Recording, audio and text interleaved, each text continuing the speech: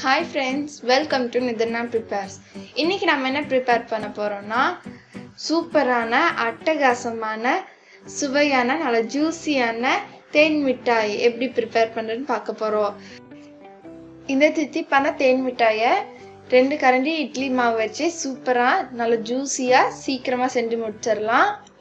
இது வந்து நல்ல வெறிய நல்லா கிறிஸ்பியாக உள்ள நல்லா ஜூஸியாக சூப்பராக இருக்கும். சின்னவங்கலேருந்து பெரியவங்க வரைக்கும் விரும்பி சாப்பிடக்கூடிய இந்த தேன் மிட்டாய். இப்போ கடையிலலாம் இது சுத்தமாக கிடைக்கிறதே இல்லை. கடையில் கிடைக்கலன்னு வருத்தப்படாதீங்க. வீட்டிலே ரெண்டு கரண்டி இட்லி மாவு வச்சு சூப்பராக செஞ்சு முடிச்சிடலாம். நம்ம செஞ்ச தேன் மிட்டாய் இப்படி நல்லா ஜூஸியாக சூப்பராக இருக்க போகுது. பாருங்க எவ்வளோ ஜூஸியாக சூப்பராக இருக்குது அந்த சர்க்கரை பாக்கெல்லாம் உள்ளே நல்லா இறங்கி அப்படியே அந்த சர்க்கரை பாவெல்லாம் வெளியே வந்து சூப்பராக இருக்குது பார்க்கவே. இந்த தித்திப்பான தேன் மிட்டாய் எப்படி செய்யுன்னு பார்க்கலாம் வாங்க. அதுக்கு ஒரு பேனில் சர்க்கரை சேர்த்துக்கோங்க. நான் வந்து ஒரு கப் சர்க்கரை சேர்த்துக்கினேன் அதுக்கப்புறம் சர்க்கரை மூழ்கிற அளவுக்கு தண்ணி சேர்த்துக்கோங்க. தண்ணி சேர்த்துக்கிட்டு நல்லா கலந்துட்டுக்கோங்க சர்க்கரை கரையிற வரைக்கும் கலந்துட்டுக்கோங்க தீ வந்து மிதமான சூட்லேயே இருக்கட்டும். நல்லா கலந்துட்டுட்டே இருங்க. சர்க்கரை நல்லா கரையட்டும். இது வந்து நல்லா கொதிச்சு லைட்டாக திக்கானாலே போதும். ஒரு கம்பி பதம் வர தேவையில்லை. நம்ம குலோப் ஜாமுனுக்கு சர்க்கரை பா தயார் பண்ணுற மாதிரியே தான் இதுவும்.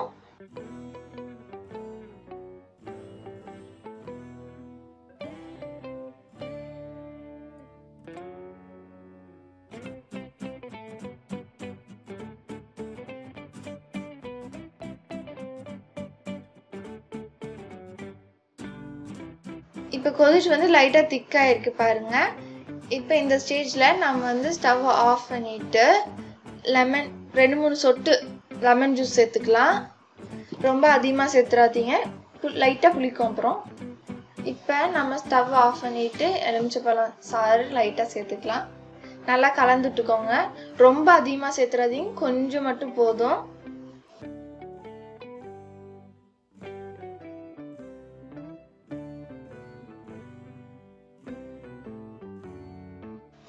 சர்க்கரை பாகு ரெடி ஆயிடுச்சு. இப்போ நெக்ஸ்ட்டு நம்ம அந்த மிட்டாய் தயார் பண்ணிடலாம். அதுக்கு நான் வந்து ரெண்டு கரண்டி இட்லி மாவு எடுத்திருக்கேன். இப்போ அதில் வந்து ஒரு சிட்டிகை பேக்கிங் சோடா ஆட் பண்ணிடலாம். அதுக்கப்புறமா ஃபுட் கலர் நீங்கள் வந்து பிங்க் ஆரஞ்ச் ரெட் எது வேணால் சேர்த்துக்கலாம் இந்த மூணு கலர்லேயுமே என்னோடது வந்து லிக்விட் கலர்னால நான் வந்து ஒரு நாலு ட்ராப் போல் சேர்த்துருக்கேன். ரொம்ப அதிகமாக சேர்த்துறாதீங்க. நம்ம போட்டு பொரிக்கும் போது கலர் வந்து நல்லா டார்க் ஆகிடும் அதுக்கு அதனால நிறையா சேர்த்துறாதீங்க.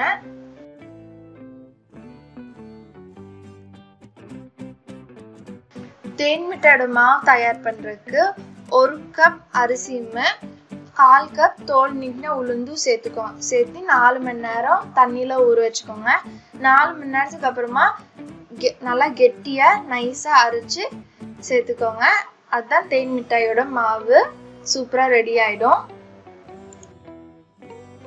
நம்மளோட தேன் மிட்டாய் மாவு தயாராகிடுச்சு இப்போ நம்ம போட்டு பொறிச்சு எடுத்துட வேண்டியதான் எண்ணெய் வந்து மிதமான சூட்டில் இருக்கணும். நல்லா அகலமான பேன் எடுத்துக்கோங்க. இப்போ நம்ம ஒரு ஸ்பூன் வச்சு சின்ன சின்ன ரவுண்டாக போட்டுடலாம். நம்ம பேக்கிங் சோடா ஆட் பண்ணனால நம்ம போட்டதுக்கப்புறமா மேலே வந்து நல்லா பெருசாகும். நல்லா சின்ன சின்னதாக போட்டுக்கோங்க. ஏன்னா நம்ம பேக்கிங் சோடா போட்டனால பெருசாக வரும். பொறுமையாக போடுங்க. மாவு வந்து கெட்டியாக இருக்கணும். தண்ணியாட்டம் இருந்தால் அப்படியே நீல நீளமாக ஆகிடும் நம்ம பேக்கிங் சோடா போட்டனால எண்ணெயில போட்டதுக்கு அப்புறமா பெருசாகும். அதனால சின்ன சின்னதாக போட்டுக்கோங்க. தள்ளி தள்ளி போட்டுக்கோங்க. பக்கத்துல பக்கத்துல போட்டீங்கன்னா ஒட்டிக்கும். கையில கூட எடுத்து போடலாம். கையில எடுத்து போட்டீங்கன்னா ஸ்பூனை விட நல்லா உருண்டை உருண்டையாக சூப்பரா இருக்கும். எனக்கு இது கம்ஃபர்டபுளா இருக்கிறதுனால நான் இந்த மாதிரி பண்றேன்.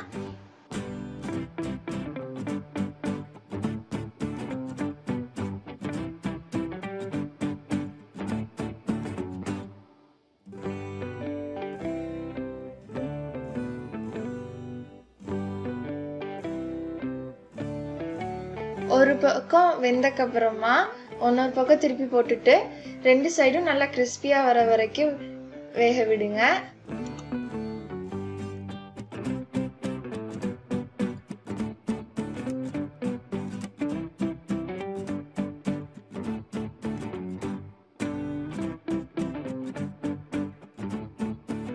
ரெண்டு சைடும் நல்லா வெந்தக்கப்புறம் கொதியெல்லாம் அடங்கினதுக்கப்புறமா வெளியே எடுத்துக்கோங்க.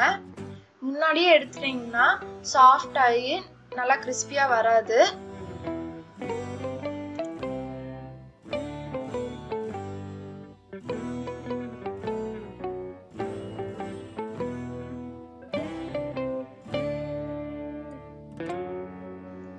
ரெண்டு சைடும் நல்லா திருப்பி போட்டு ரெண்டு சைடும் நல்லா கிறிஸ்பி ஆற வரைக்கும் வேக விடுங்க. கிறிஸ்பி ஆறக்கு முன்னாடியே எடுத்துட்டீங்கன்னா ரொம்ப சாஃப்ட் ஆகி சர்க்கரை பால உள்ளே இறங்காது. ஆனால் ரெண்டு பக்கமும் நல்லா கிறிஸ்பி ஆனக்கப்புறமா எடுத்துக்கோங்க. கொதியெல்லாம் அடங்கினக்கப்புறமா எடுத்துக்கலாம். கொதி அடங்கிடுச்சு இப்போ கொஞ்சம் கொஞ்சமாக எடுத்துடலாம் வெளியே பாருங்க எவ்வளோ பிரைட்டாக பார்க்கவே சூப்பராக இருக்குன்னு. நல்லா குட்டி குட்டியாக உருண்டியாக பார்க்கவே ரொம்ப க்யூட்டாக இருக்குது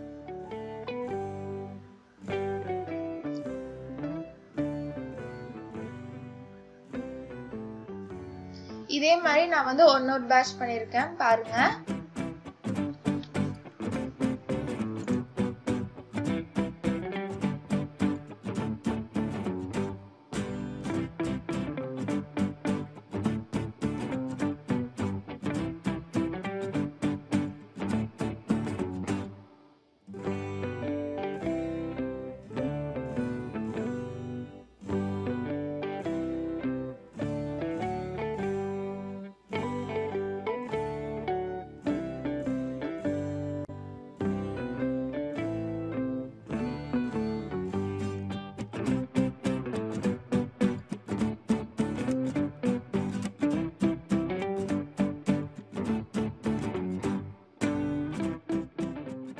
இப்போ நம்மளோட இன்னொரு பேட்சும் ரெடி ஆயிடுச்சு பார்க்கவே ரொம்ப க்யூட்டாக சின்ன சின்னதாக பாலாக சூப்பராக இருக்குது க்யூட்டாக இருக்குது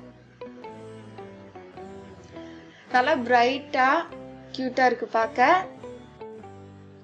நம்மளோட மிட்டாய் எல்லாம் ரெடி ஆயிடுச்சு இப்போ இது வந்து நம்ம வந்து சர்க்கரை பாகுக்குள்ள ஆட் பண்ணிடலாம். உங்களுக்கு இனிப்பு கொஞ்சம் கம்மியாக வேணும்னா இது வந்து ஆறுனக்கு அப்புறமா சர்க்கரை பாலில் சேர்த்துக்கோங்க. அப்போ அது வந்து லைட்டாக ஒரு கோட்டிங் மட்டும்தான் கொடுக்கும். எனக்கு இனிப்பு நல்லாவே வேணும்னால நான் வந்து பொறிச்சோடனே அதில் சேர்த்துக்கிட்டேன். சேர்த்துக்கிட்டு நல்லா கலந்துட்டுக்கோங்க. இது வந்து பத்துலேருந்து பதினஞ்சு நிமிஷம் வரைக்கும் நல்லா ஊறணும். பார்க்கவே ரொம்ப அழகாக இருக்குது நல்லா ஜூஸ் எல்லாம் இறங்குனா தான் தேன் மிட்டாய் டேஸ்ட்டு ரொம்ப சூப்பராக இருக்கும். இப்போ ஒரு பதினஞ்சு நிமிஷத்துக்கு அப்புறமா நம்மளோட தேன் மிட்டாய் எல்லாம் ரெடி ஆயிடுச்சு இது வந்து நல்லா பிரைட்டா பார்க்கவே சூப்பரா இருக்கு.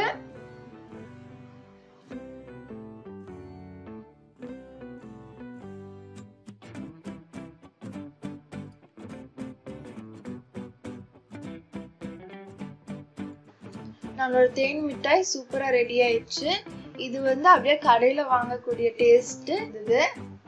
நல்லா பிரைட்டாக சூப்பராக இருக்கு பார்க்கவே. குட்டி குட்டி உருண்டையா பார்க்கவே ரொம்ப கியூட்டாக இருக்கு. இந்த ரெசிபியை நீங்களும் வீட்டில் ட்ரை பண்ணி பாருங்க. பாருங்க உள்ள வந்து எவ்வளோ ஜூஸ் இருக்குன்னு. அப்படியே அந்த சுகர் சிறப்பெல்லாம் வெளியே வடியுது. அவ்வளோ ஜூஸ் உள்ள இறங்கி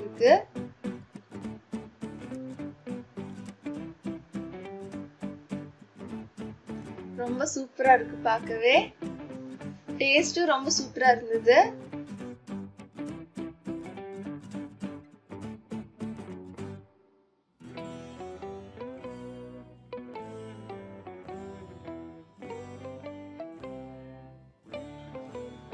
நம்மளோட தேனி மிட்டாய் சூப்பராக ரெடி ஆயிடுச்சு இனிமேல் நம்ம வந்து கடையில் போய் வாங்கணும்னு அவசியம் இல்லை. வீட்டிலே அஞ்சு நிமிஷத்தில் சுலபமாக செய் செஞ்சு சாப்பிட்லாம். இந்த தேன் மிட்டாய் வந்து உங்களுக்கு வேணும் சுகர் கோட்டிங் வேணும்னா லைட்டாக ஒரு பிளேட்டில் சுகர் சேர்த்துக்கிட்டு லைட்டாக ஒரு கோ தேன் ஒரு தேன் மிட்டாய் எடுத்துட்டு லைட்டாக ஒரு கோட்டிங் கொடுத்துட்டிங்கன்னா உள்ள நல்லா ஜூஸியாக வெளியே நல்லா கிறிஸ்பியாக அந்த சுகரோட ரொம்ப சூப்பராக இருக்கும்.